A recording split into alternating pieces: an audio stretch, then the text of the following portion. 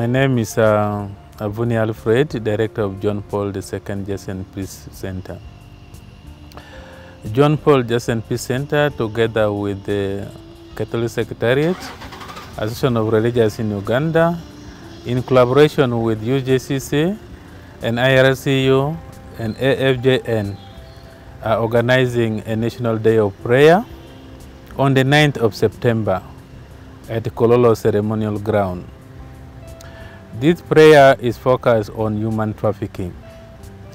We are all very much aware that so many youth, young women and men have been going to do job to, to get some job abroad and also internally from rural areas are coming to town and end up being trafficked in one way or the other. Funny enough, even in this country, we have Karamoja children on the street who are being used for begging and other forms of exploitation within the city.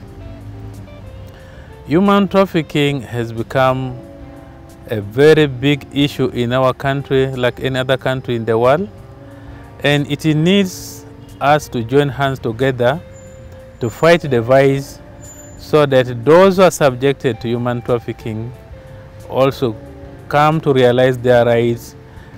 It is very funny that in the media we hear a lot about it, but nothing is being done.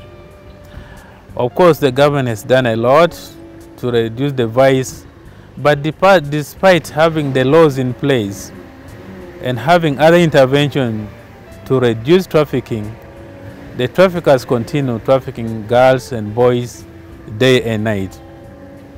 And as we speak, a number of girls and boys are being trafficked. So, all these organizations I mentioned in my beginning have come together to join hands that we could pray to God as people of faith so that we can call upon those who are perpetrating human trafficking to go to, to be converted and also for the victims of human trafficking, the girls and the boys, so that God can be with them. And also for those who are supporting them, so that they continue giving the help they deserve.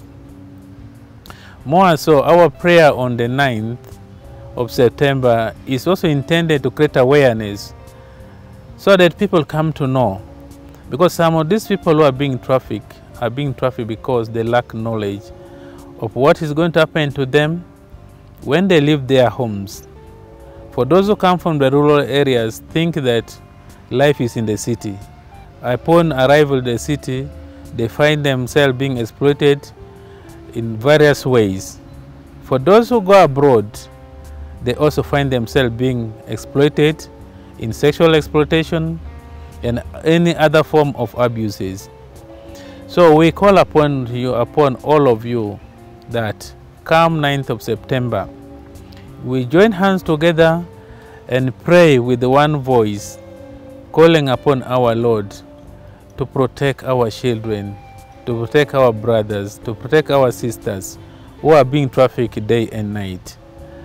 Now, these prayers also require us to have enough resources in order for us to be successful in the preparation for the event. We have written a number of letters for contribution. Those who have received these letters, we call upon you to respond to our letters and give the help we need in order for us to successfully um, carry out this event. But more so, as people of God, we are calling upon all of you to join us in, at Kololo Ceremonial Ground to pray together. And let us keep time so that we can pray with the, uni with one accord and also be together at the right time. I would like also to appeal to the various parishes uh, where these uh, uh, requests for contribution have been submitted to, uh, to respond to our letters so that we can organize this event um, in time. We are left with a few days. So basically, within these few days which are remaining, we would like to hear from you, those who have received the letters, so that we have the money at hand for the preparation. For those who would like to contribute to, to the cost of this event, we would request that you send your contribution on account number 31 triple zero double two six nine zero. For the mobile number you can use is 0782 40 1067. So those are the two um, places where you can send the money for the contribution. I keep reminding you that we are left with a few days. The more you contribute, the better for us to ensure that this event becomes successful and our brothers and sisters who are suffering get some consolation. I thank you for listening.